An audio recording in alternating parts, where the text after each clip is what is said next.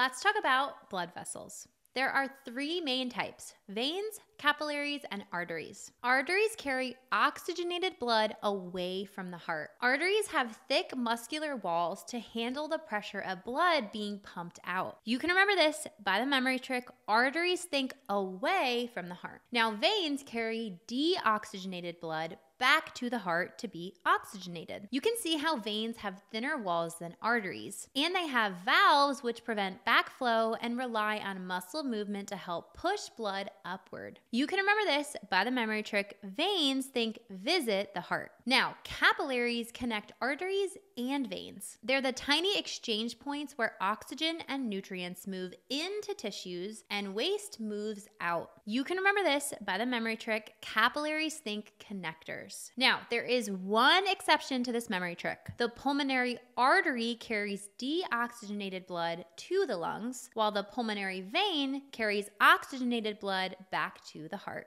If you like broken down content like this, you'll love the Anatomy and Physiology Navigator. You can find it on my shop, Nurse in the Making. Happy studying.